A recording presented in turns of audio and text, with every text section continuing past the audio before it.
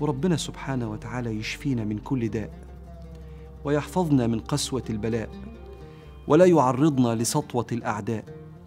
وانت يا رب قادرا مهيمنا في الارض والسماء